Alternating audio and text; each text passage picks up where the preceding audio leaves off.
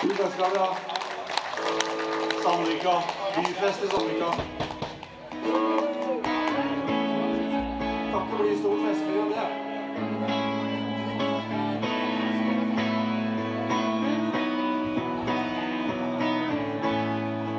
Som du skjønner i det rolige partiet her.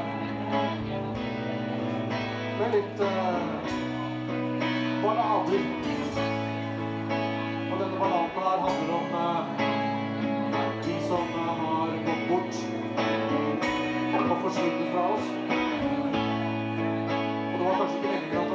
som skulle forsvinne først. Så her står man igjen og lurer på hva som skjedde. Og kjenner på savnet.